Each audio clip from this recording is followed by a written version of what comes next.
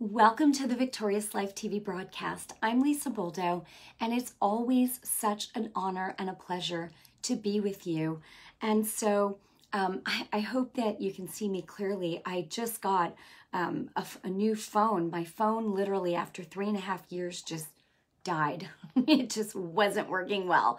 So, um, in any event, I I hope I see you guys jumping on. Just leave a quick comment and let me know if you can see me clearly. I, and I hope, uh, I think I'm looking at the right spot too for the camera. So, oh, good. Okay. Well, welcome, welcome, welcome to the broadcast. I see you guys jumping on, and I love, love, love being with you. Aw, Lorraine, she said, hello, mighty warrior sister. Leslie, Janice, Michelle, Angela, so great to see you all. Vicki, I could keep going with the names, but um, but we're going to jump right in. Hi, Mercedes. Okay, so, oh, yay. Thank you, Michelle. She said, hi. Yes, you're clear. Okay, awesome. So in this broadcast tonight, this is, it's really, um, it's, it's, it's an awesome message. You know, the Lord has had me really camped on um, about the subject of believing. And it's pretty awesome because in this broadcast, the Lord wants to shed light on are you trusting in Him or are you putting your focus on fear or fear of lack? Fear of lack in particular is, you know, what um, what came to me by the Holy Spirit for this message. And the Lord, so my question is, do you feel like you're lacking anything today?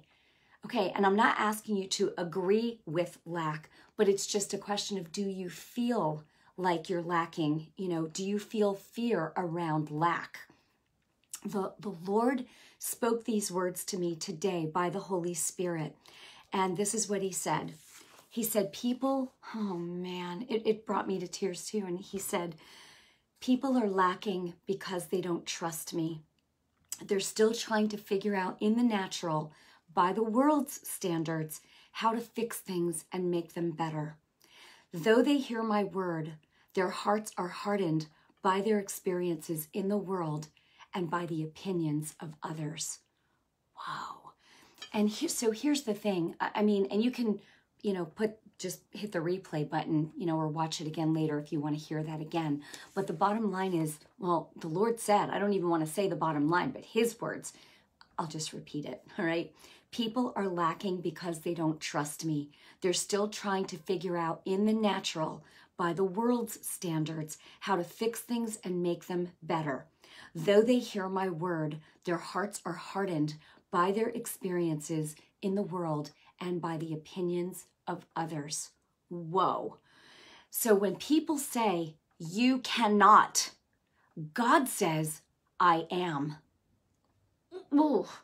If the great I am lives inside of you, right, by the power of the Holy Spirit, the great I am, that means Christ in you, Christ in you, the hope of glory. That means you can do all things because Christ strengthens you, right?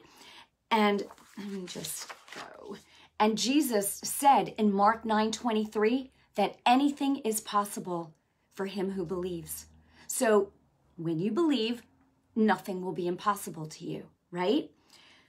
Believe, the word believe. You know, I've been sort of camped on here for the last couple of weeks because the Lord, the Lord, He's still talking about believe, believe. You know, and all through the Bible, He's saying believe, believe, believe, right? Those who believe, you know, believe versus unbelief. And I was literally brought to tears a few times today just sitting there meditating on the word thinking about what the lord was showing me and you know as i was reading and just what he was showing me. And the word believe again the word believe it came back. And the thing is is it's so simple yet we make it so hard sometimes. We make it so hard. You know and you could say yeah but that was jesus no, Jesus knew his authority. He knew he had his Father's authority. He knew he had the power of the Holy Spirit, and he never doubted. Point blank, he never doubted. He knew that whatever he spoke, it had to happen.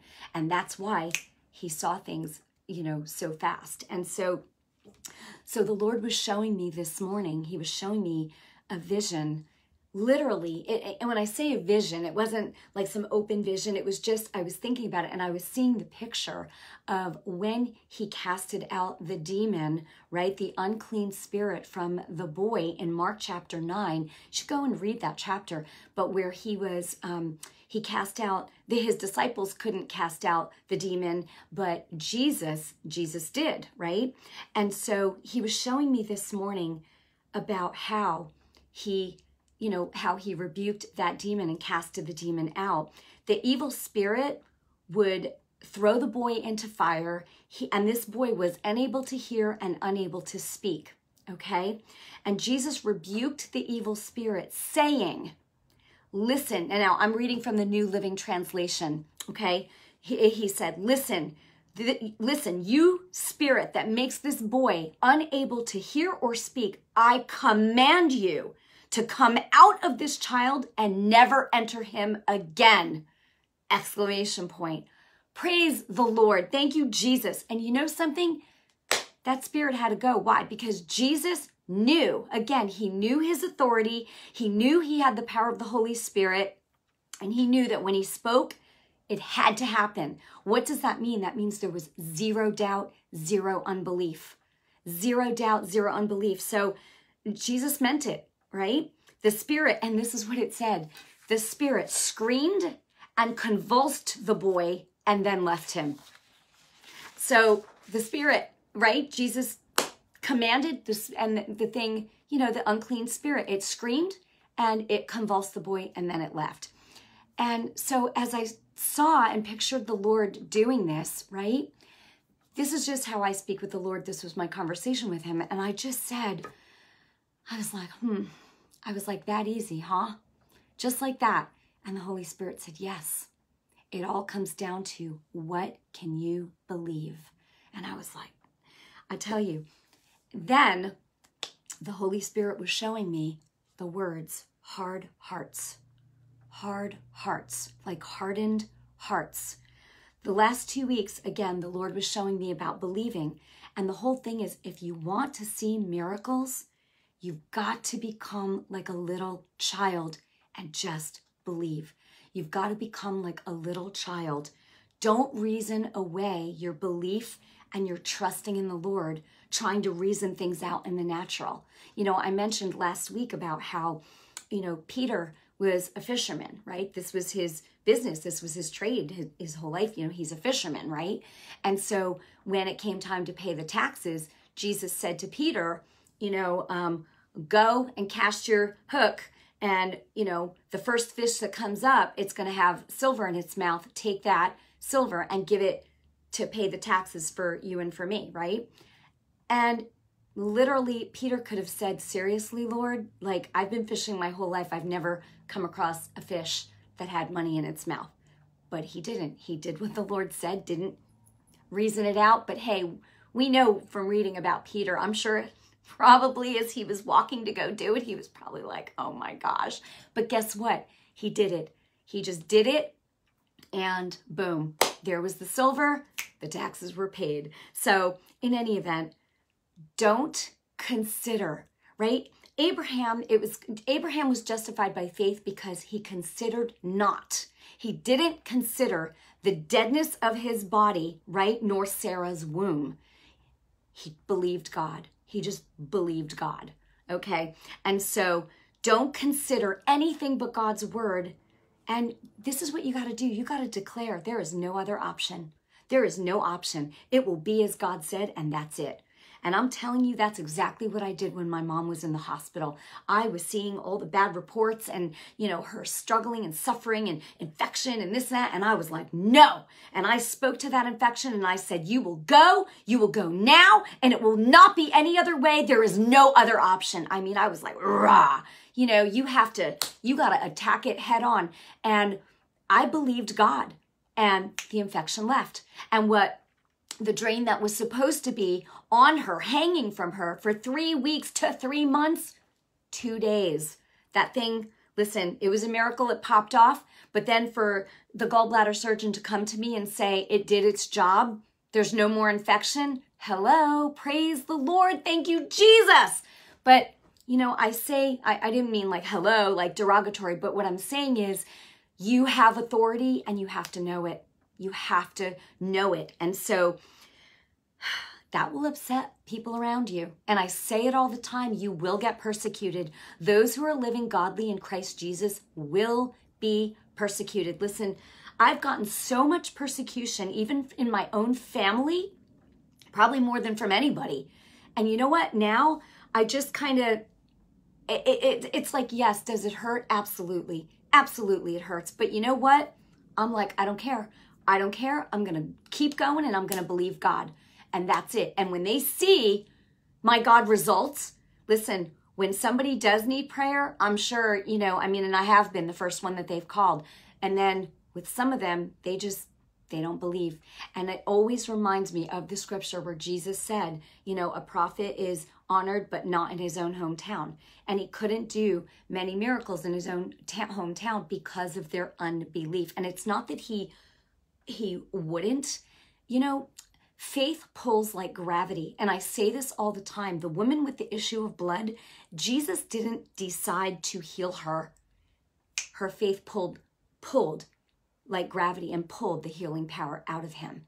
Praise Jesus, my God.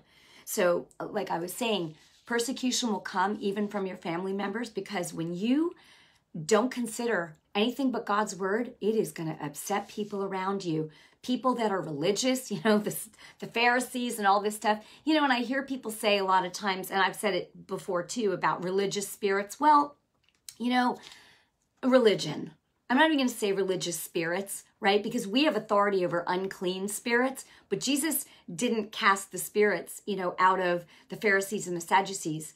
It's you have your own set of beliefs. People, right? They're going to believe what they want to believe. And people that don't have a renewed mind, that's an unrenewed mind to the word of God, then they're not going to act in accordance, you know, with God's word. But when you let the Holy Spirit have his way in your life, I'm telling you, you will speak and act accordingly, right? In agreement with him, and God's power will be released in your life and people will see it.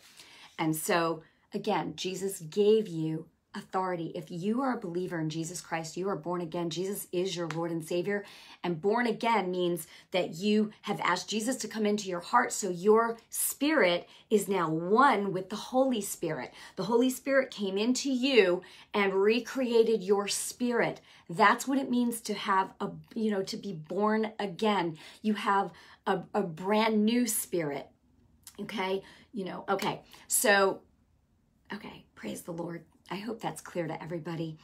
So, you know, even if you're looking at a situation and it takes a little bit of time, maybe you're speaking against, you know, lack. God doesn't want you to fear or have anxiety about anything. He wants you to speak God's word and don't, you got to get rid of the hardness in your heart. You know, all unbelief, um, it's really due to a lack of feeding on God's word. I mean, feeding, just like you need physical food for your body, this is food for your spirit. And not only for your spirit, but for your mind, so that your mind and your spirit can be in agreement. You know, if you're born again, you have a brand new spirit. But if your mind, if you don't know what the word of God says because you haven't taken the time, you know, to to read or to hear, right? Then your heart and your mind will be conflicted very often because you'll you're you know you'll want to do something and your heart or you know might say mm, you know don't do that or your conscience or whatever but your mind's unruly and you're like no i'm going to do it anyway and then it's oh i know I, sh- I should have i shouldn't have done that right? Or i should have done this shouldn't have done that. You get what i'm saying. Reading God's word aloud. And you don't have to read it out loud, but I like to read the word of God, for example, and just just even kind of in this tone when I'm, you know, just by myself. Like during the time the devil came and said to him, if you are the son of God. So I'm saying you don't have to read it. I just flipped my Bible open. But what I'm saying is you don't have to read it, you know, out loud. You can just read it aloud. It's powerful. It's powerful. If you want to read it out loud, you're by yourself, that's great too. But what I'm saying is, you can read it when you read the word, it's so good to read aloud because faith comes by hearing and hearing by the word of God, right? You're feeding on God's word. Praise God, right? But I was saying that even if a situation, if you don't see it change right away, remember, oh, um, oh, the Holy Spirit's so good. I'm thinking about the fig tree right now. Jesus spoke to the fig tree, and if you think about it, it hit the roots first before it was seen on the outside. So when you speak to something, you have to remember you're releasing God's word. I always say it's like a spinning top, it's in motion, headed for the target. And the only thing that can reverse that is you coming into agreement with something different. You will stop that faith in its tracks. Faith pulls like gravity. So when you release God's word and you believe it, it's done. It's it's a done deal. Be, you know, just patient. Don't allow, don't consider anything else, and you will see God's result. Listen, this isn't coming from me. This is the word of God. This is a spiritual law that you will have what you say when you believe what you say, right? And it's lined up with God's word. Well, even if if it was something evil, if you partner with the devil and you agree with him and you believe that, that's what will come to pass. Faith pulls like gravity. What are you putting your faith in? Make sure it's the word of God. Make, listen, I always say listen. oh my gosh, I'm like, listen. Um, oh my gosh. Matthew 16, 19, one of my favorite scriptures. One of my favorite scriptures because Jesus said, whatever you bind on earth will be bound in heaven. Whatever you permit, right, will be permitted. But who's got to do the allowing? You do, right? So you want to make sure that you you know you have authority, Luke 10 19, right? Agree with God. Agree with God. Okay. So as I was reading Mark chapter 8 today, right? I read 8 and 9. And the Lord, he he you know how like when you're reading scripture, sometimes things are highlighted to you. Well, what was highlighted to me was about how how after he fed the 5,000 people and then he fed the 4,000, the word of God, right? The Bible says that the disciples still didn't understand. They still didn't get it, right?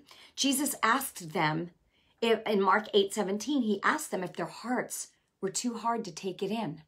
The miracle about the loaves, right? He asked them, Are your hearts, you know, were your hearts too hard to take it in, right? To take it in, what does that mean? If you're reading God's word and you're taking it in, you're taking it in, you're taking it in. You're going to believe it. You're getting rooted. You're getting grounded in it. You're taking it in, right? If you don't take it in, that means you're rejecting it, right? Now, they believed because they saw what he did, but they didn't understand.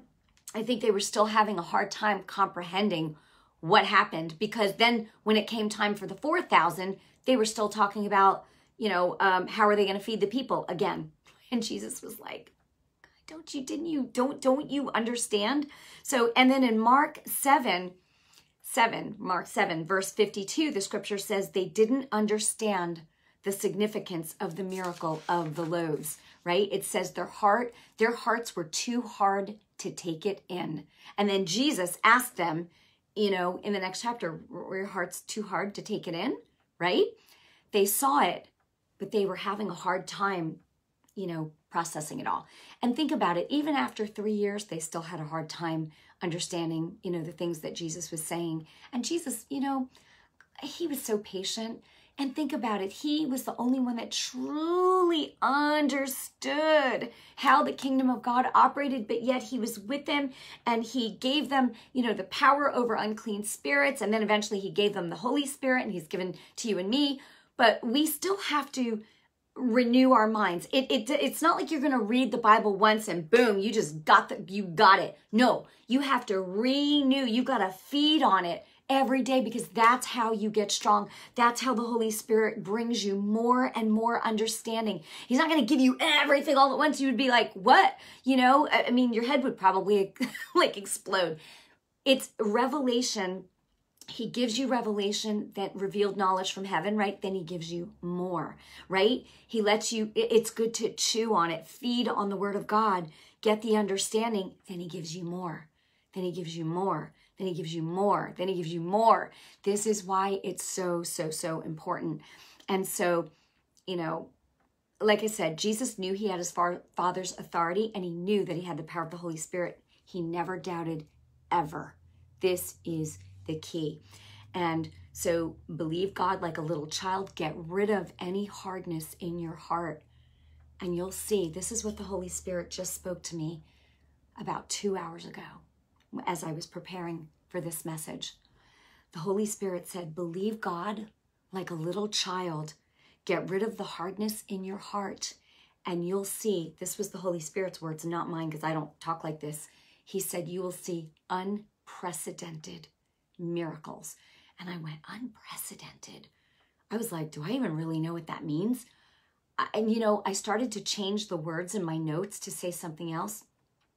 No, I would have missed it. And the Holy Spirit was like, uh uh I don't, don't change what the Holy Spirit says. He said unprecedented. So I looked it up.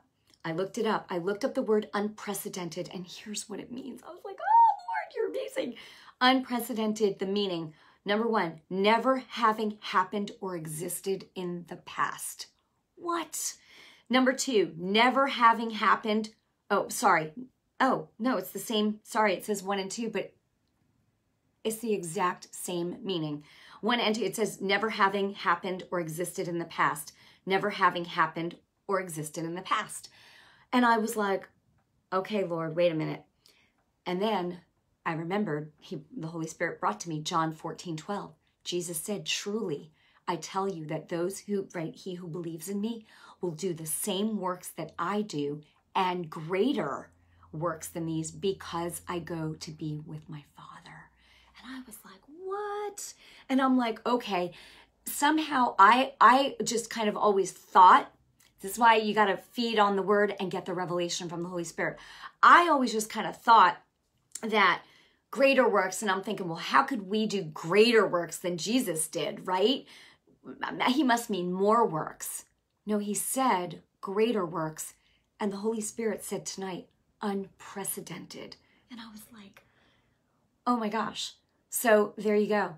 That to me, that's revelation that explains John 14, 12, right? When we believe, that's yeah, Sammy, that's what it says. That is the meaning of unprecedented. It is amazing. And that's the word that the Holy Spirit gave me, not me. I literally was about to change it and say, You will see great and mighty miracles. Holy Spirit was like, No, unprecedented. And I was like, Whoa. Oh my gosh. So, and and this is, you know, we only have a few minutes left, but I want to just say that feeling fear does not mean that you're in unbelief, okay?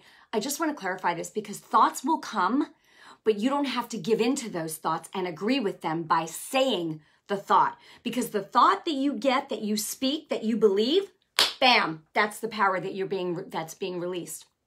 No. Thoughts will come, but the second that you start to feel fear or anxiety, 2 Corinthians 10, 4 and 5, cast that, that, that cast that thought down and make it obey Christ. So how do you do that, right? You say, you say when that thought comes, no, I always lift my right hand. It just reminds me of the, the right hand of authority. You know, no, I don't receive that. I don't accept it. Or you can say, I'm not in agreement with that. And you say, Lord, I trust you and it will be this way. And you speak what you're believing for, and it will be no other way. There is no other option. I said it, and if I said it, God said it because you're speaking God's word. So, guess what? Angels hearken to the voice. They make happen what you speak when they hearken to the voice of the word of God, but you have to give God's word voice. You have to speak, and bam! Okay, praise the Lord. Mm, I love it. I love teaching. I love, you know, I love the word of God so much. He wants you to not feel fear around lack. Read Mark chapters, you know, 7, 8, 9. Read about the miracle of the loaves and the fishes and ask the Holy Spirit to give you revelation. I'm telling you, mm, so good, so good. So that's how you speak to your mountain and really anything that comes against you. You speak against it, okay? No other option. Don't consider anything else but God's word. And remember that way you release God's power, headed for the target. The only thing that can stop that in its tracks is you coming into agreement and saying something else and speaking something else. Okay, if you've never made Jesus, you know, we're just about done, the Lord of your life, and you'd like to tonight, we can do that right now. I'm going to pray a simple prayer with you. Mean it with your whole heart. Listen, God knows if you mean it. You can't fool the Lord. You can't fool the Holy Ghost, right? So, not that you'd ever want to, but I'm just saying if you want to receive Jesus tonight, I'm just going to lead you into a simple prayer to help you to do just that. Then the Holy Spirit will come in when you mean it with all your heart, recreate your spirit. You'll be born again. Then, what you want to do is start reading this word. Um, and I suggest starting with an easy to read Bible, like the New Living Translation is the one um, that I probably read more than any other. And I know people love the King James, and I have several others so I can compare. And, um, um, but so anyway, I'm going to lead you into this prayer now. So just mean it with your whole heart. You can repeat after me and just say, Lord Jesus, I am a sinner. If you're already born again, you are a saint in the kingdom. Lord, I believe that you died for me on the cross and paid for my sins forever. I believe that God the Father raised you on the third day and you are alive now and you live forever. Oh, thank you, Jesus. Lord Jesus, come into my heart and be my Lord and Savior. Baptize me in your Holy Spirit so that I can be on fire and a witness for you. Lord, I just thank you. I praise you with all my heart in Jesus' name, in your name, Lord. Amen and amen. Woo! Glory to God. Listen, immediately, if you just prayed that, the Holy Spirit came in, recreated your spirit, boom, done. And now you need to get yourself an easy to read Bible. Listen, I prefer, listen, you can, I always say listen, right? Oh my gosh, I don't, I don't, sorry about that, but I can't help it. Okay, listen, get yourself an easy to read Bible. Yes, you could do it on the internet or whatever, but I just really love a handheld Bible. But listen, you, there I go again. But listen, oh my gosh, make sure, you know, if you're if you're sharing scriptures with someone and all you have available is your phone, use your phone. If you're trying to look up a scripture, do it. If you remember part of a scripture, I do that all the time. And then just Google part of that scripture, it'll come right up on your phone and you'll have the scripture. Very, very cool. Very, very cool. Okay, and um, so if this blessed you tonight, make sure that you share this with others. This is knowledge. This is, you know, knowledge is power, but it's understanding that people need. And that's why I do these broadcasts. If you have been standing for your healing, you know, I want to mention something too. I got an email the other day from someone that said something like, um, I know that God is healing me, but it's in His time, not mine.